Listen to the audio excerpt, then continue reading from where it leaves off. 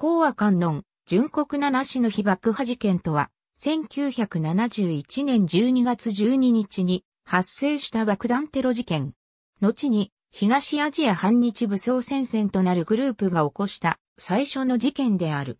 東アジア反日武装戦線という名称が決まったのは1972年末であるが、本校では便宜上、それ以前の当該グループも東アジア反日武装戦線と呼称する。現在の純国七市の秘跡碑に、ひびが入っていたり、コンクリートの詰め物で補強されているのは、この事件で爆破されたためである。東アジア反日武装戦線は、本格的爆弾テロの前段階として、自らの爆弾製造技術の腕試しも兼ねて、日本帝国主義の象徴となるものを爆破することになった。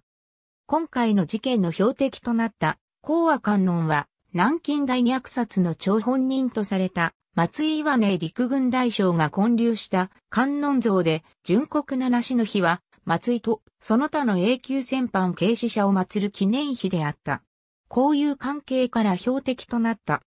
1971年10月頃から準備に取り掛かったが、10月24日に共産主義者同盟放棄派による都内連続交番爆破事件が発生した。自分たち以外にも爆弾闘争を行っているグループが存在することに勇気づけられる反面、警察が限界体制を取ったことで、迂闊な行動が取りにくくなった。12月12日、大道寺正史、ますます、A 俊明、会の3人は、鉄パイプ爆弾と消火器爆弾を携えて現地に直行し、講和観音には鉄パイプ爆弾を、純国七市の石踏みには消火器爆弾を、そしてその間にあった応答和線純国戦士線88霊育用費にも鉄パイプ爆弾を取り付け、午後10時に爆発するように設定した。